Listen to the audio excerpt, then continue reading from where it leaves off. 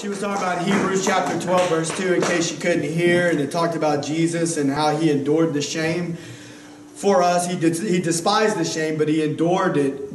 He endured the cross because it was the will of the Father, amen, and that there's, that there's better to come. He knew. He knew what he was enduring it for. It was for the glory that was going to be received, and it was for the purpose of bringing healing to us. Amen. And that sometimes we're going through things, and you know, to transition into this message, I can tell you that right now in my own personal life, I'm going through some things. Some of you, you know, may know a little bit about it, but one of the things that's interesting to me is that this message was really completed about three days ago. Don't get me wrong, I, I tweaked a little intro stuff, but the, but the points were already written three days ago, and it's, and it's not important what we're going through because it really and truly it's, it's relevant for all of our lives because it's the things that all of God's people go through, and it's the Word of the living God. But it just never ceases to amaze me how God is already there. He's already on time. No, no, I'm sorry. He's not on, just on time. He's he's in advance. He's in advance, preparing a way, orchestrating events, allowing circumstances to take place in order that He might accomplish His will in our lives. Now, listen to me. Sometimes that process doesn't feel real good when you're going through it. And that was the story where we were last week. We were we were in First Chronicles.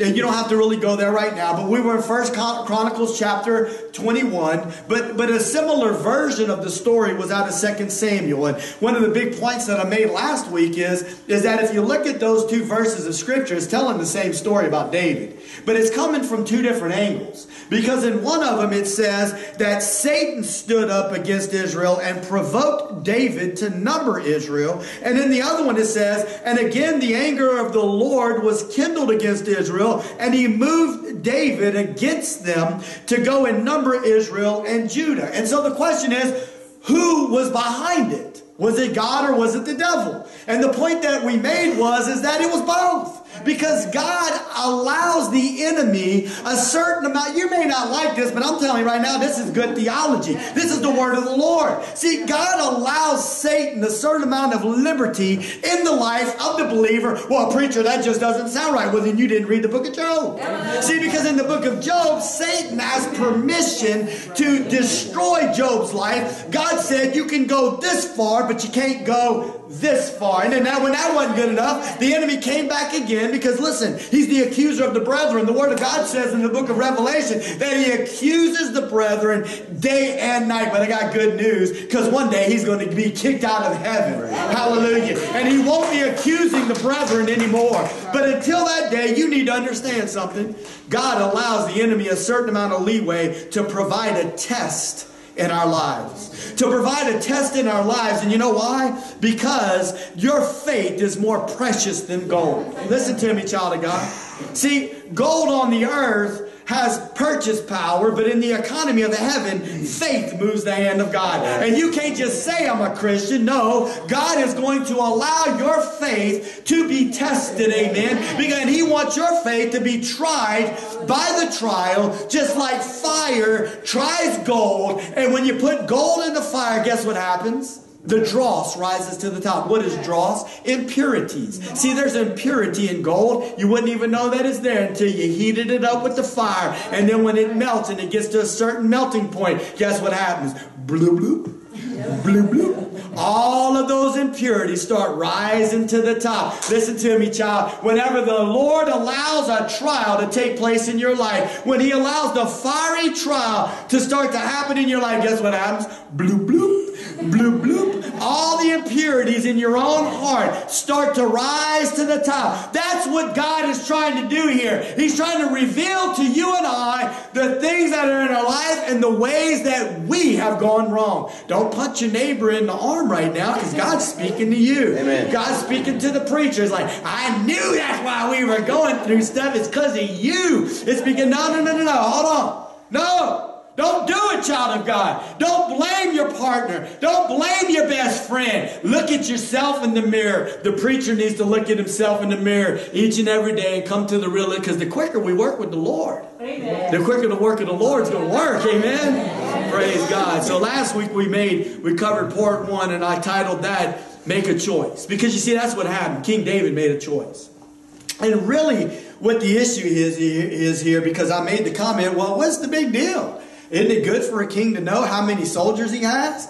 The problem was the motive of his heart. Remember when I said that? It wasn't so much that numbering the people was wrong, it was the motive behind it. David was trusting in the numbers of his army instead of trusting in the hand of God. See, when you and I begin to look at external circumstances in our situation and we begin to eh, look at look at the circumstances and we're like, "Oh Lord, I'm never going to be able to get through this." That's a lack of faith. We're not trusting God. We're not looking as though God is bigger than our problem. What happens is our problem becomes bigger than our God. That's not the will of the Lord. That's contrary to the Word of God. And so what we learned is that every trial is a test of the faith, and every test, both God and Satan have an intended result, right? Satan wants to destroy you, and God wants to heal you and make you stronger in the faith. And God allows Satan a certain amount of latitude to allow these things to take place, right? And the essence of that story, though, is about this the struggle of faith. And this is the question Will I trust God or will I make my own path? Mm. Oh, no, you got to ponder on that. See, David the psalmist would have said, Selah. Stop for a moment and think about that.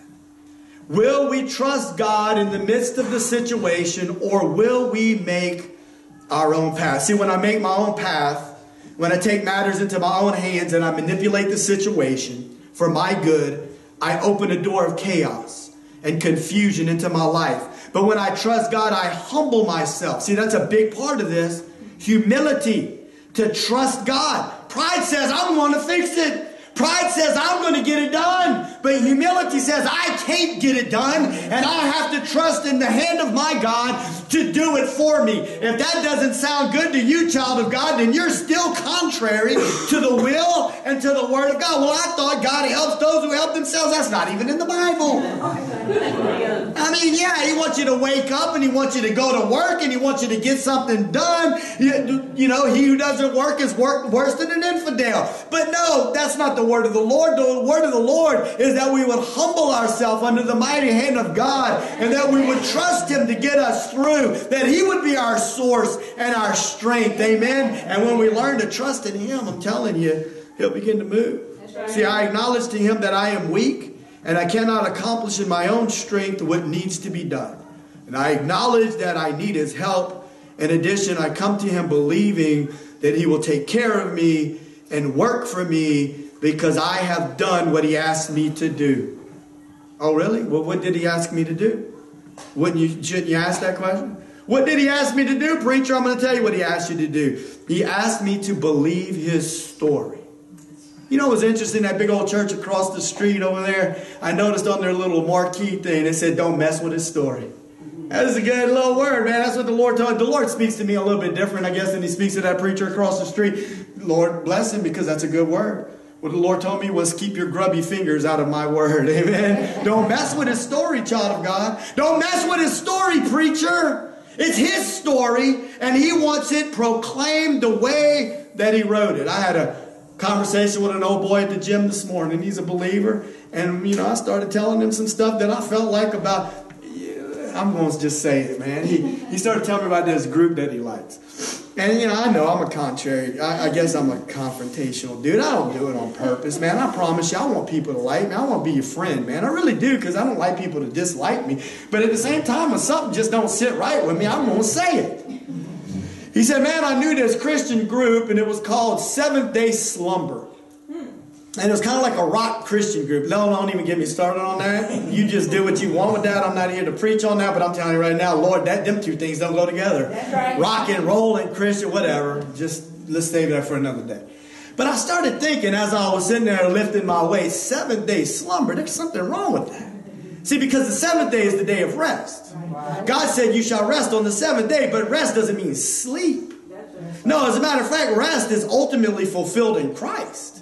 The scripture teaches us in the New Testament that Jesus is our rest. But to slumber, the Apostle Paul warned against that.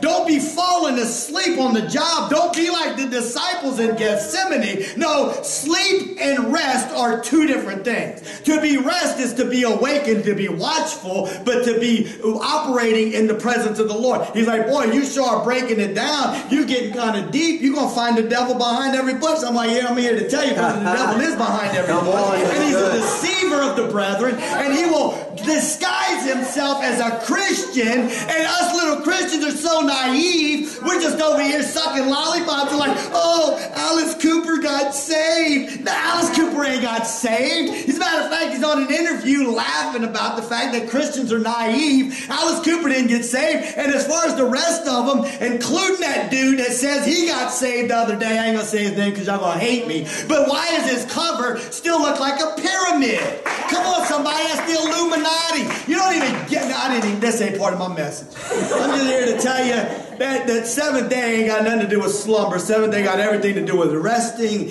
in Christ and trusting Jesus. Anyway, another story for another time. Amen. Amen. What did he ask me to do? He asked me to believe his story.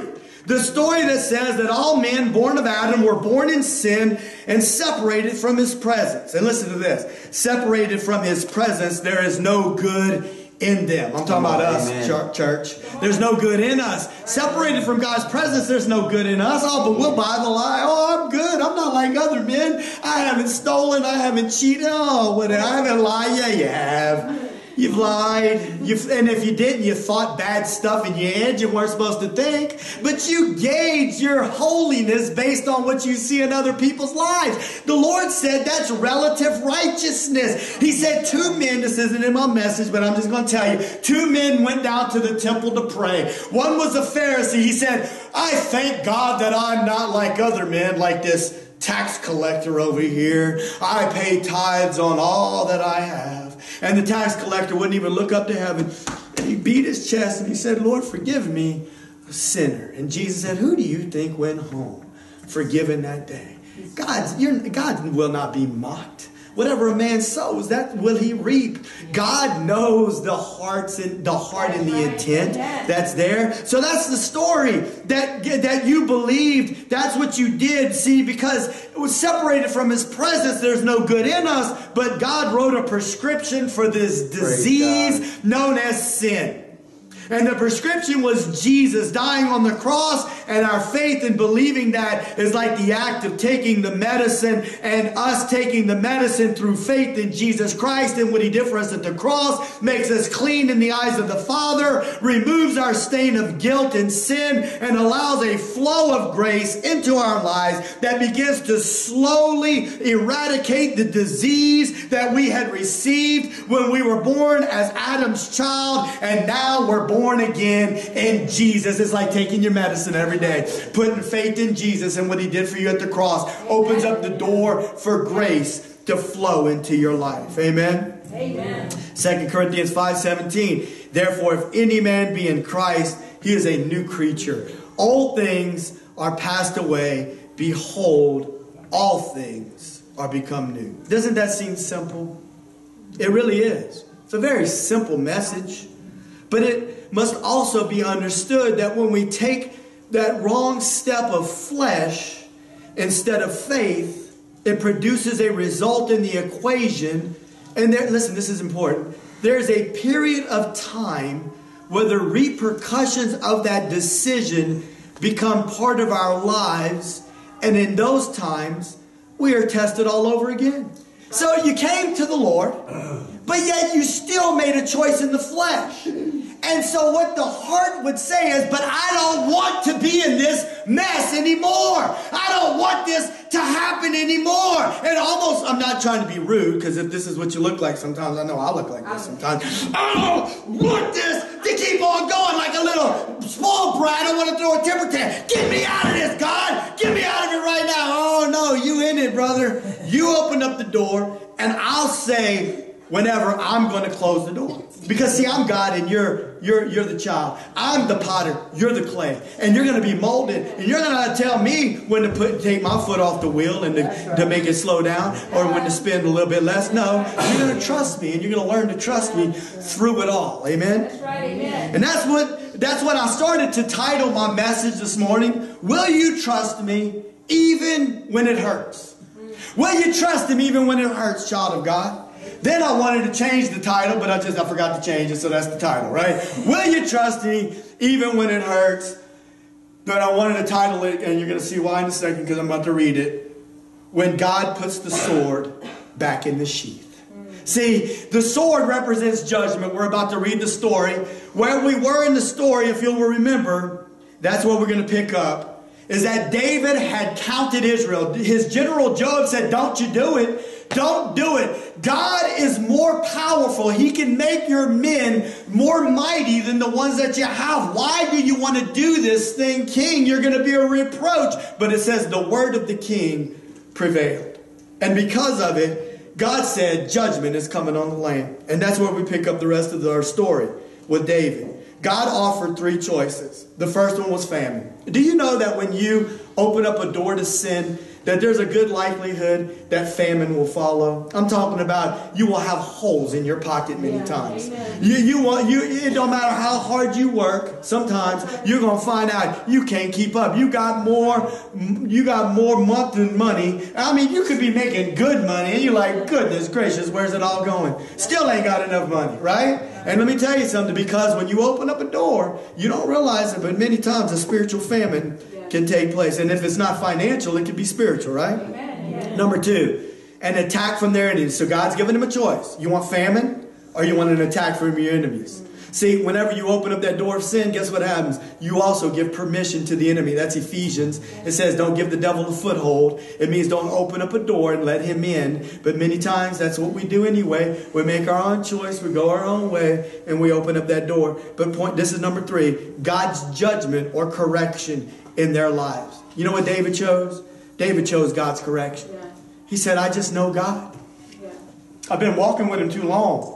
I know I made some mistakes. I know I went the wrong way. No, no, let's not even call it what it is. It, it wasn't a mistake, it was sin. I sinned against the Lord, and I've opened up a door but there's one thing that I know about God because I've been walking with Him long enough to have learned is God is merciful and He loves me and He knows what's best for me. I don't want to put my hand in the midst of famine because I'm, I'm, we might starve to death. I don't want to put my hand in the midst of my enemy because He will destroy us and ravage us. I'm going to put my hand in the hands of the Lord and I'm going to trust upon His mercy. And so here we are, verse 14 we're in, uh, it was, what was it, First Chronicles 21? Let's go to First Chronicles 21, starting in verse 14, and make sure we got the right one here. Yes, so the Lord. Here we go. You ready? So this is what the Lord did. He sent a pestilence upon Israel.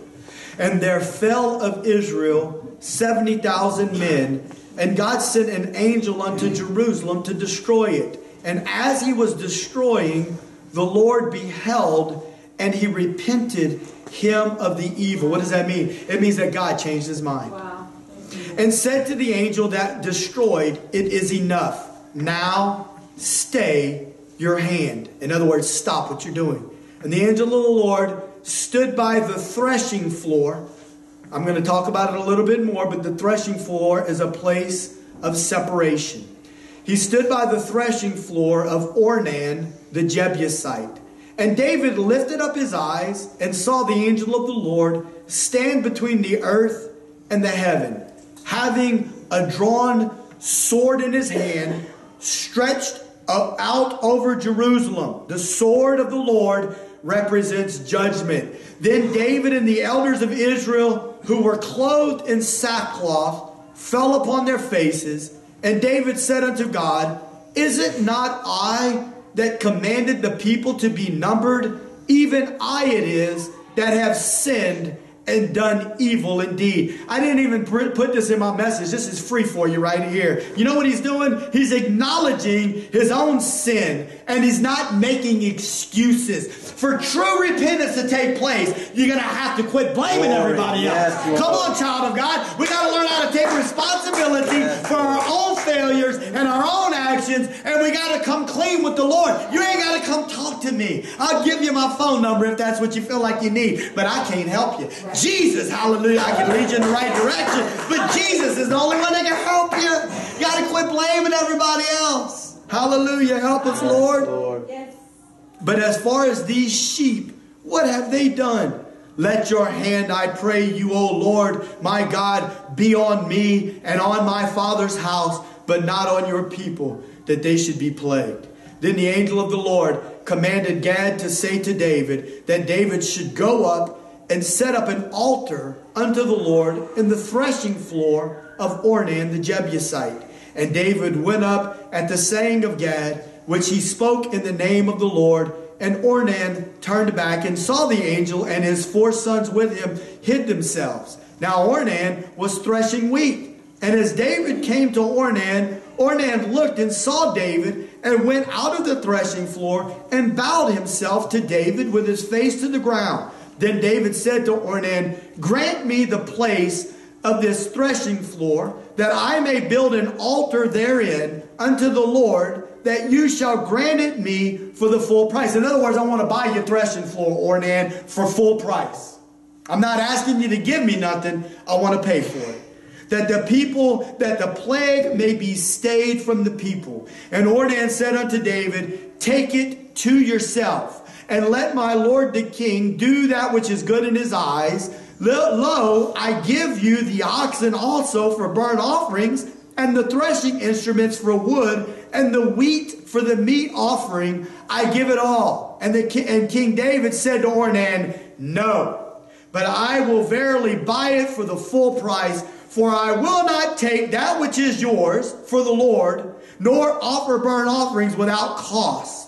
See, someone else can't be sorrowful for you. True repentance requires personal sorrow over sin and let me tell you something true repentance costs something. You're not going to buy your way out of this deal. Don't get that out of this message. No, it costs Jesus everything. Jesus already gave his life, he already paid the purchase price. It was the shedding of his blood, the giving of his sinless life to pay the penalty for the sin of mankind. Amen. So David gave to Ornan the place for the place 600 shekels of gold by weight. And David built there an altar unto the Lord and offered burnt offerings and peace offerings and called upon the Lord, and he answered him from heaven by fire upon the altar of burnt offering. And the Lord commanded the angel, and he put up his sword again into the sheath thereof. Hmm. This is point number one. You ready? It's kind of a long point, but it's a good point. Stop, take a breath, and think for a minute because he is more than capable to fix this. I want to say it again. Stop and take a breath. Wait and think just for a moment. Whatever you're going through, whatever you're facing, no matter how bad, no matter how much trial and tribulation, no matter how much of a mess it is that you're in the midst of, stop, take a breath, and think for a minute because I'm here to tell you, child of God, that He is more than capable to fix your situation. Hallelujah. And in this story, David, he removed the situation from the capable hands of God and he took matters into his own hands, resulting in chaos. And Joab answered, The Lord make his people. Look at this. This is verse number three. We're going backwards a little bit. First Chronicles 21, verse 3. Joab answered the Lord. So, so whenever David wanted him to count, Joab answered, and he called him the Lord. He's talking about his king, though. He's talking to David. He said, I'm sorry, he's talking about the Lord. The Lord make his people, talking about the king's people, a hundred times so many more as they be. But my Lord the king, are they not all my Lord's servants? Why then does my Lord require this thing? Why will he, the king, be a cause of trespass or sin to Israel? Nevertheless, the king's word prevailed against Joab. What he was trying to say was, is that you might have 1,100,050 soldiers, but the Lord your God makes them like a hundred times what you have. The power in God's hand is greater than what you see. Why are you trying to limit the hand of your God, King? You're going to be a reproach on Israel because you're trying to trust in your own strength instead of trusting in the strength of the Lord. Yeah. Joab the general recognized what David was doing. He was taking matters into his own hands and he was looking to his own strength instead of waiting patiently. And when we do this, we invite trouble because we're dismissing God from the situation right. and attempting to handle it in our own strength and wisdom. But God is more than capable. It's the power of God that makes our army strong. He can make our money go farther. He can give us favor with people even if they don't like us. He can do things for us that we can't do for ourselves if we would just trust Him and wait on His time. When we start stressing, Yeah. we start second guessing, and we start trying to move and manipulate and operate, trying to figure it out, and we just make a big old mess. Yeah. Ephesians 3.20 says this. Ephesians 3:20 Now unto him that is able to do exceedingly abundantly above all that we could ask or think according to the power that works in us. See this scripture describes the fact that God is already positioned to do more for us than what we could have asked for or even thought of. He knows what we need before we ask. He knows what needs to be done to get the job done, but will we let Him do it for us? Amen. Psalm 46, 1 and 3. Psalm 46, 1 and 3 says this God is our refuge and strength, a very present help in trouble. Therefore will not we fear. We were not going to fear. Though the earth be removed, Though the mountains be carried into the midst of the sea, though the waters thereof roar and be troubled, though the mountains shake with the swelling thereof, Selah. The psalmist says, Stop and think about this. The earth might start quaking. Listen to me. We don't have too many earthquakes to worry about in South Louisiana, thank God. We got enough with the hurricane. but what I'm trying to tell you is, is that even when the earthquakes and even when the floodwaters rise and people find themselves in these untoward circumstances, the people of God still have a God that is sitting on a throne and He's more powerful than their situation and circumstance. So no matter what we're going through, God is able to get us through. Amen. No matter what we're first facing, amen, we, he is there to help us in our time of need. Amen. That was point number one. Stop and take a breath. Think for a moment. Amen. This is point number two. You ready? Your sin affects other people. Let me say that one more time. Your sin affects other people. Look at 1 Chronicles 21, verse 17. And David said unto God, Is it not I that commanded the people to be numbered? Even I it is that have sinned and done evil indeed. But as for these sheep, what have they done? Let your hand, I pray thee, O Lord my God, be on me and on my father's house, but not on your people, that they should be plagued. One of the things that I have noticed through the years is that when a person is comfortable in their sin, they will make excuses to protect their sin and ignore the fact that they are affecting the people that are closest to them.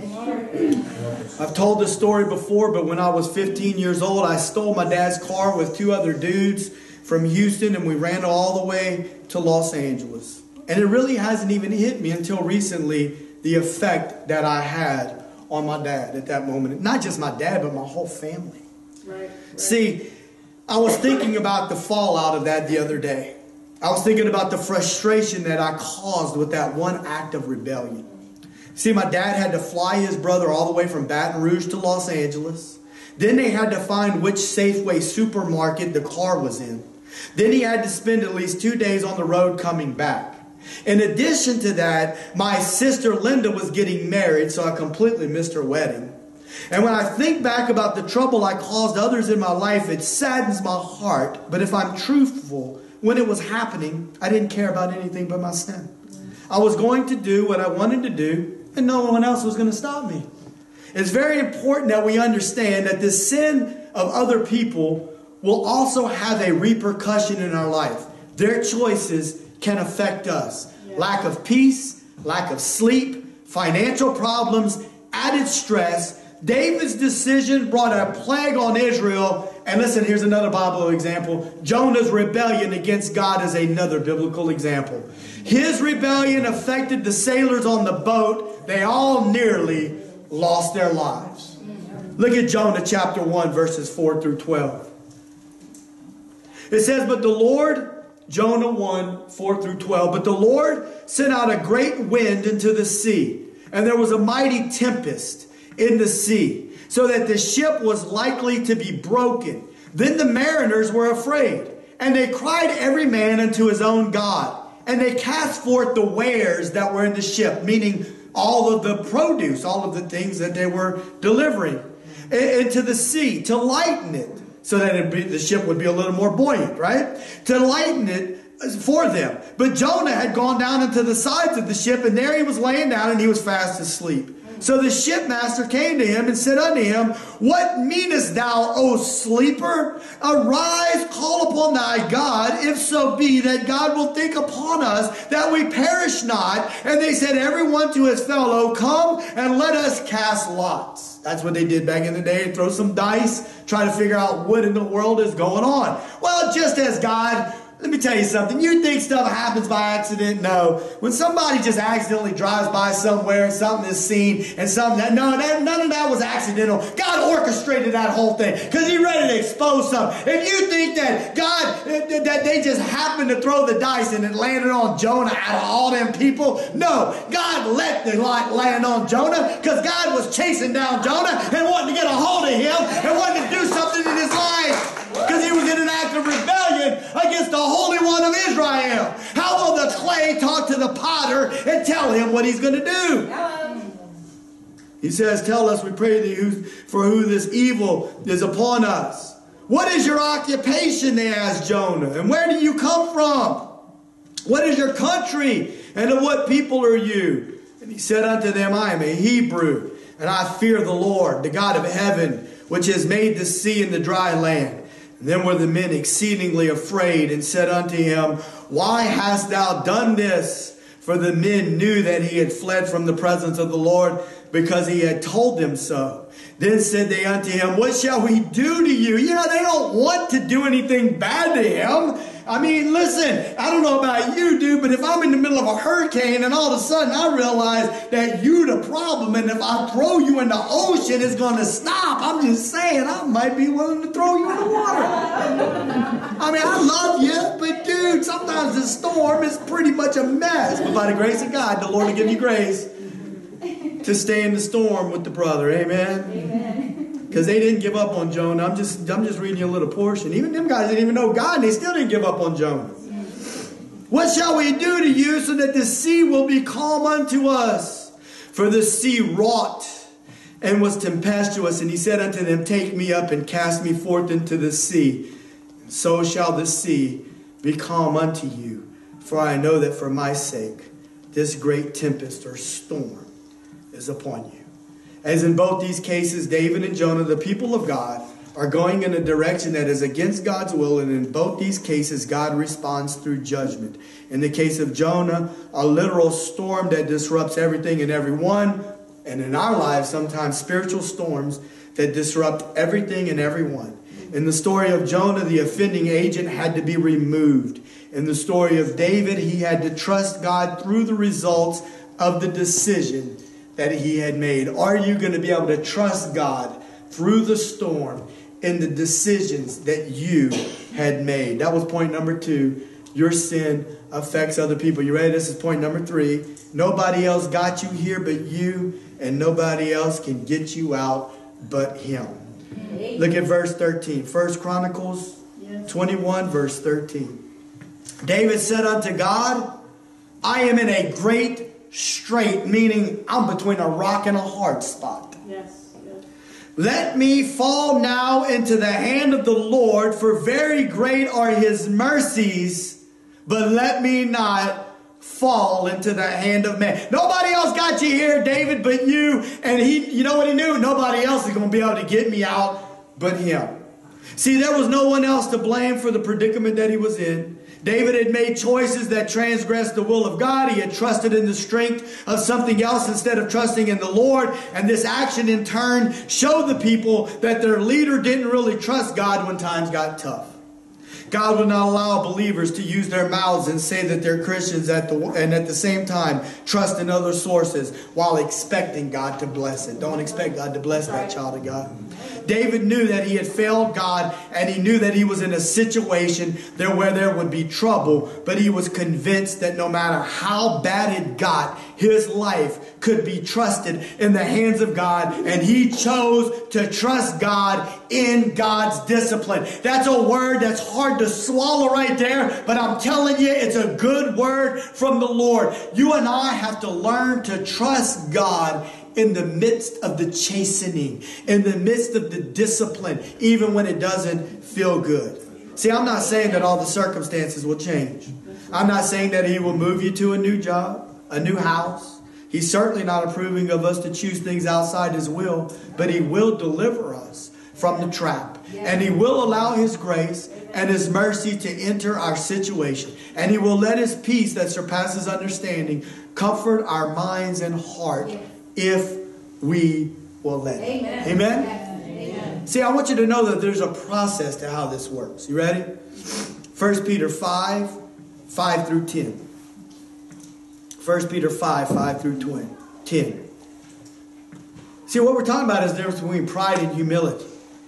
If you want God to work in your life in the middle of the storm, in the middle of the trial, we got to humble ourselves. Right. See, pride's going to tell us to hold on to what to self. Pride's going to tell us not to humble self. Pride's going to tell us not to divulge the truth. Pride's going to tell us just to be tight-lipped. Pride's going to tell us not to come clean. Pride's going to tell us to hide it in the darkness. That's against the will of God. Right. Humility says, "Listen, I need help down here, and I'm going to humble myself under the presence of the Lord, and I'm going to come to Him once again. You don't have to come to me. I'm not even saying you got to go to your wife. I'm saying you got to go to Jesus. I'm saying you got to get in down on your knees and you got to say, Lord, I done failed you. Lord, I'm a mess again. Lord, here I come again. Tears in my eyes, broken heart, done failed you again. I need you to show up, God, and I need you to do something in my life. It says right here in verse 5 Likewise, you younger, submit yourselves to the elder.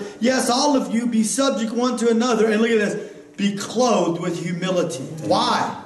Because God resists the proud.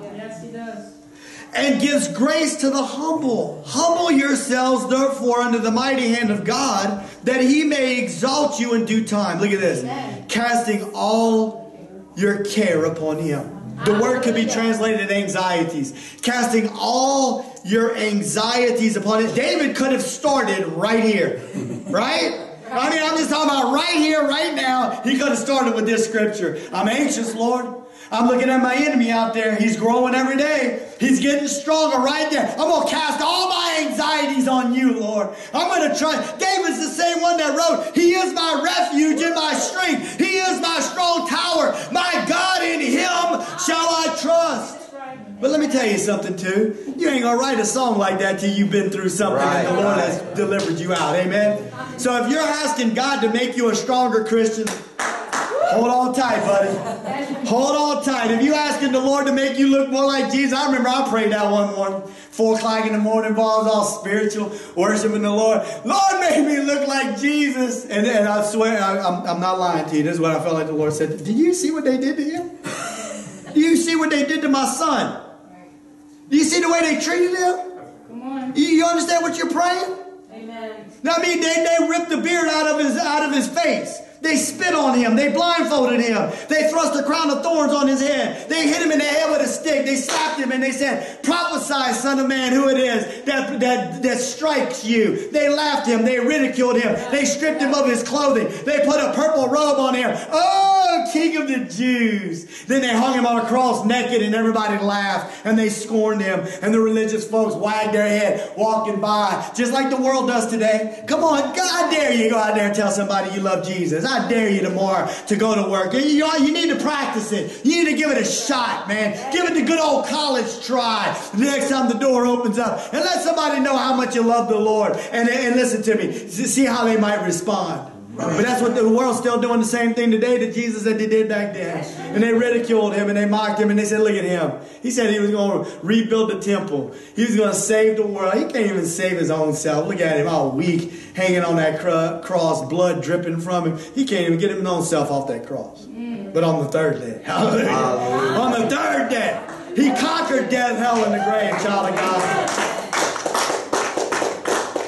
David could have started right there. Cast your anxieties upon him because, listen, he cares for you. Look at verse 8. Be sober, be vigilant. Your adversary, the devil, as a roaring lion, walks about seeking whom. That's why I got a problem with seventh day slumber, dude.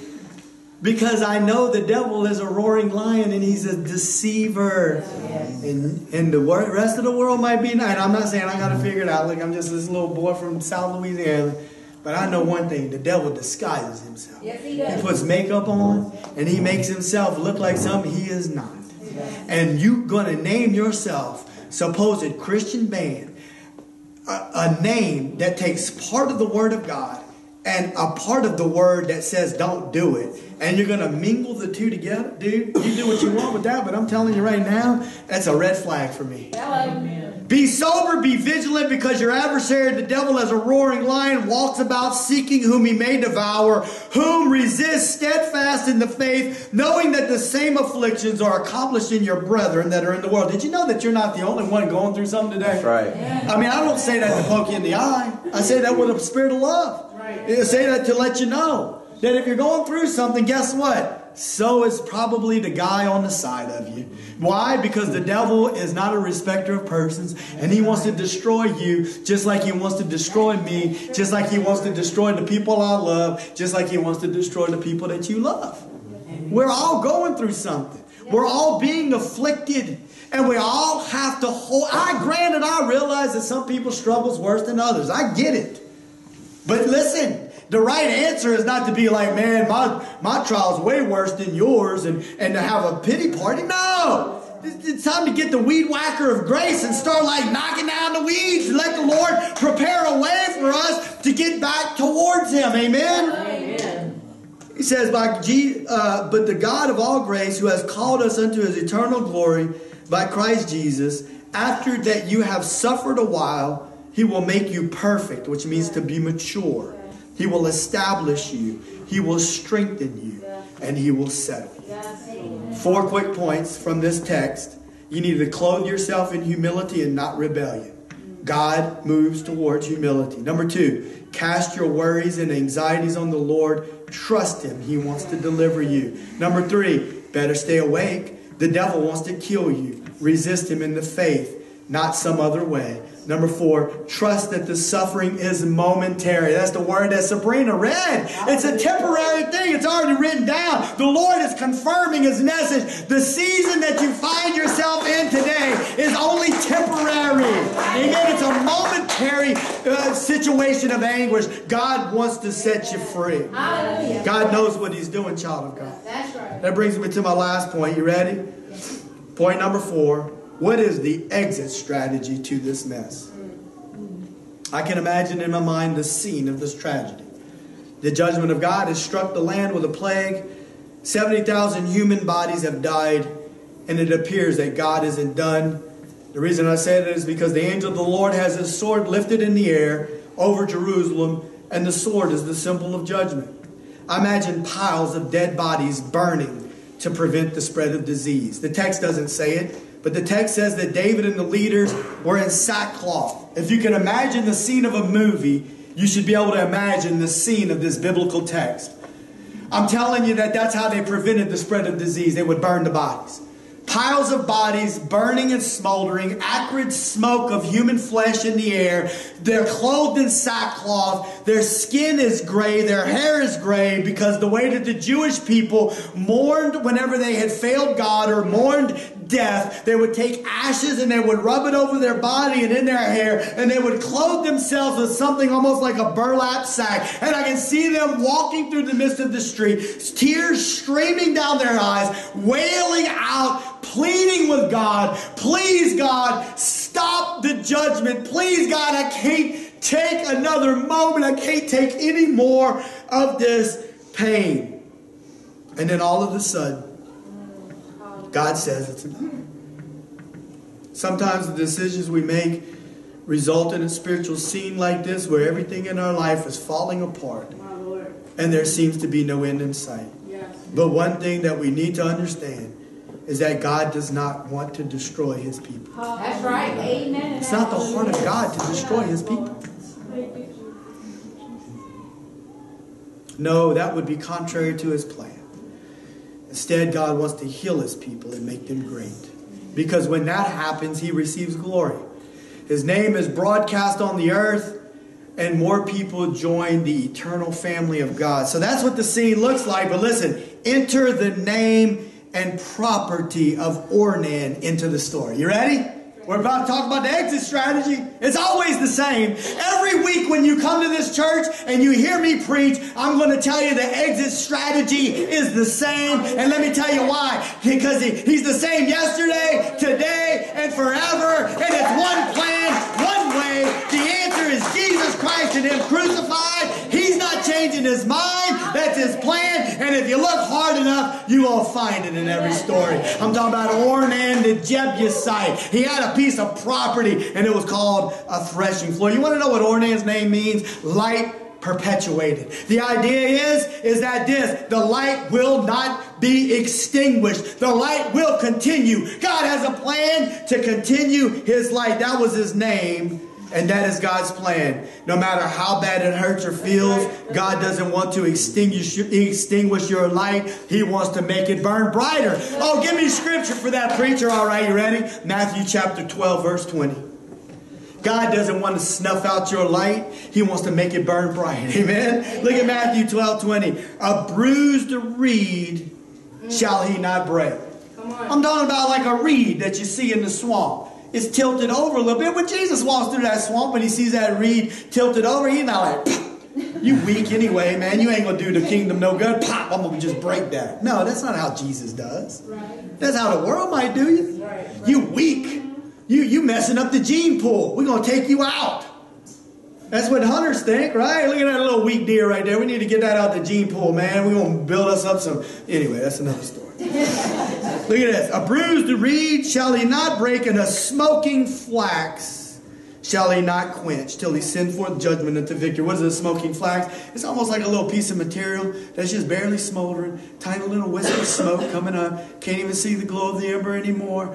And what, what man would do is look at this old weak smoking flax put that out right there. I'm gonna beat you while you're down. I'm gonna get you while you're weak. I'm gonna, I'm gonna kick you in the side when you're weak and you're feeling bad. I want to see because you know what the devil will do. The devil will use Christians to do that too. Right. Try to kick you when you're down. They don't even realize they're doing it. They're over there running their mug, being vessels of the enemy. Lord, forgive us. Jesus isn't going to quench a smoking flax. No, but you know what he's going to do? He's going to gently pick that up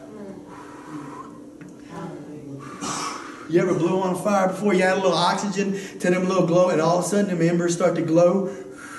See, God knows how to do it. That's the pneuma of the Spirit, the breath of God. God wants to blow on your embers, amen. He wants to cause your fire to burn brightly. God wants to do a turnaround in the midst of your life, amen. Ornan's name means light perpetuated, and his piece of property was a threshing floor, upon which God instructed David to build an altar. See, threshing floors have great significance in the Word of God. You know what a threshing floor is for? Separation. Separation. That's exactly right. Look at three, Luke 3.17. We're talking New Testament now. The threshing floor of God. It said, talk, this is John the Baptist talking. He said, whose fan is in his hand, and he will thoroughly purge his floor and, and will gather the wheat into his garner, but the chaff he will burn with fire unquenchable. Now, this is Old King James, so let me break it down for you. First of all, the fan is actually describing like a pitchfork. A threshing floor is a flat piece of property that has been flattened out so that the wind can hit it. Wheat is heavy chaff is light. It's kind of like the husk on a peanut. You know how when you crack a peanut open, it's got that skin on there and you kind of rub it and it flakes off? Wheat has that on it. It's got a little layer of chaff. And so you got this big old pile of wheat on top of this flattened threshing floor and you got like this shovel. It's almost like a pitchfork. It's not really like a fan. It's like a pitchfork. And they pick it, stick it in there and they sling it up in the air. And the wind takes the chaff and blows it away. And then by the time you're done threshing, the separation is taking place, you're left with wheat. The wheat is put into the garner. What does that mean? That's the storage house where the fruit of God goes because that's where the harvest of God goes. But the chaff is burned up in unquenchable fire. Listen, in the end days, God's wheat is his people and he's going to harvest that. But even in our personal lives, I need you to understand something. The threshing floor is the place where God is desiring to separate flesh from spirit, where he's desiring to separate sin from his holiness, where he's working in us and allowing things to take place. Amen. So that those things can be revealed, so that they can be removed. Amen. And judged with the fire of God. That's the purpose of the altar also. The altar is an instrument of death. The plan of God requires death. Look at Romans 6 23. For the wages of sin is death but the gift of God is eternal life through Jesus Christ our Lord. That's how God fixes sin. He kills it through the cross. The altar allowed the sacrifice to be judged by the fire of God, and that satisfied the holiness of God. And this was a foreshadowing of Jesus for when God would allow him to be a sacrifice for the sins of the world. Look at verse 26. We're back in First, uh, First Chronicles 21 verse 26. David built there an altar unto the Lord, and he offered burnt offerings and peace offerings, and he called upon the Lord, and he answered him from heaven by fire upon the altar of burnt offering. And look at this. And the Lord commanded the angel, and he put up his sword again into the sheath. This is what changes the situation. It's called repentance.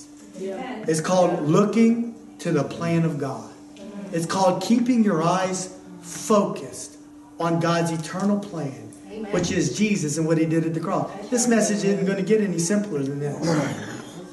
God has a plan. God has a way. And listen to me, the essence of the story is this. Problem is, is this. I'm talking about for daily living. Oh, preacher, you're preaching a message I already know. I know Jesus died so that I could be forgiven of my sin before I go to heaven. You're missing it. Yep. Because listen to me, the same way you received him, so shall you continue to walk in him. That's right. Listen, you got to die. David didn't want to die. David wanted to live. Count my men. Show me how big my army is. Remind me of how strong I am. Remind me of how strong you are. You missing it, David. You're not wanting to die. You're not wanting to die to be moved out the way to let God be exalted in your life. Jesus, the, the Galatians 2.20 says this, I've been crucified with Christ, nevertheless I live, yet not I, but he liveth in me. And now this life I live, I live by faith in the Son of God who loved me and gave himself Amen. for me. Listen to me, child of God. I'm just going to tell you right now, I mean, I had a whole other set of scripture to go to, but I preached a long time. In Romans chapter 5, it talks about this. You've been justified by faith. The word justified, we don't teach this a lot in charismatic churches or full, full, full gospel churches. The Baptists teach it a lot. But, but listen to me. It's important that we understand this. The concept of justification is that Jesus took your guilt and sin with him when he went to the cross. Yeah. And when you put faith in, in Christ and what he did for you at the cross, you know what? God called you righteous. The enemy will never want you to believe that. He wants you to feel condemned. He wants you to feel guilty. I can't make you feel the truth of what I'm speaking right, right now, but I'm speaking to you the truth of the living God. And if you will believe that, and continue to trust in that, you will begin to feel the weight of sin and condemnation and guilt lift off of you. And you will begin to feel the Holy Spirit fill you. And you will begin to feel the weed whacker of God go before you. And He will clear a path for you. And He will give you strength in order to enable you to walk. Amen. He said, Therefore, being justified by faith, we have peace with God. Hallelujah. Hallelujah. The peace of God moving and operating in our lives. It's a beautiful thing. Amen. But we got to trust God through the trial. We got to trust God even when the times are hard. Amen.